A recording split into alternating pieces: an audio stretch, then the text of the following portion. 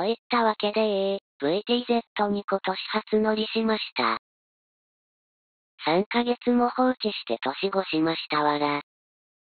今回は久々に VTZ の個人的所感を語るんやで。BGM はアイドリングオン。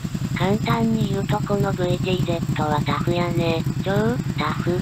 手がかからないし、金もかからない。放置してても一発指導。全く、会長不具合なしなんや。今までパーツも消耗品以外変えたことない？維持費 CB400F の10分の1くらいちゃうか？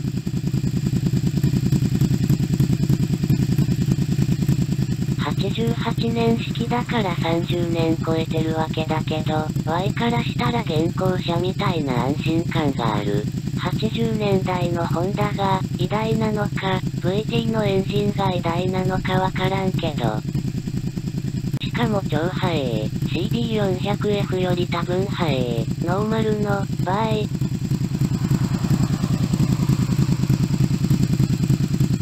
大昔初期の VT2 班 FC 借りて、乗った時は、軽さとスリムさに、電チャリみてえだなぁ、という印象だった。パワー感も伸びも特筆するもの、感じなかったし、なんでだろうなぁ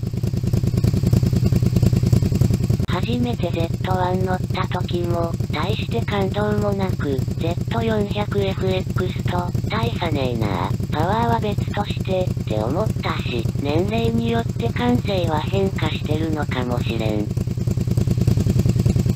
まああれだよ同級生の中で、いい年の取り方してるのが、極めて稀ってのと同じで、数ある ATs 車両の中でも VTZ は恵まれた個体だと思うわけ。変なプレミアがついてない分、純正部品は格安で流通してて困ることねえは、このままの水準で続いて欲しいと思います。正直70年代の旧車以上に見かけなくなったけど、なぜなんだぜ？この2年自分以外の見かけたこと、一度もないわら。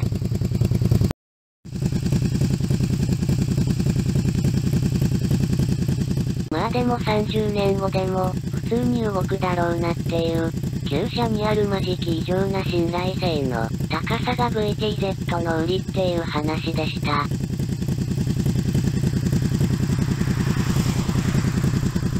ジョニー・ライデンカラーが、かっけー、わら、地軸臭くないし注目度も、抜群です。みりんは派手な色で音が出てる方が、安全だと昔から思ってるんやで。逆に四輪は静かで目立たない車が、好みになったけどわら。